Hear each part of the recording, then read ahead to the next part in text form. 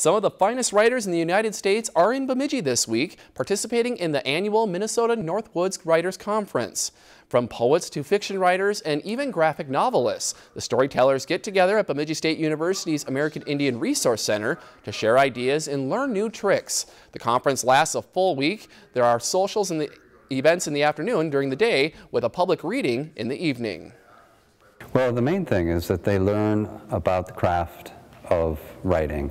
They make connections with other writers, and hopefully that crosses genres. You know, we focus on the craft of writing, but we, we want to um, give our, our attendees like a, um, a, sense of the literary uh, scene and profession. So we bring in editors to give editor talks.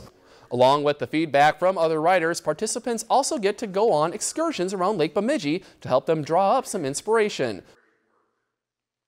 There's something about this particular place and this conference that things kind of congeal together and collide, and people are really truly in the moment of it and really relishing in the craft of writing. And so often the participation is very um, involved with the audience.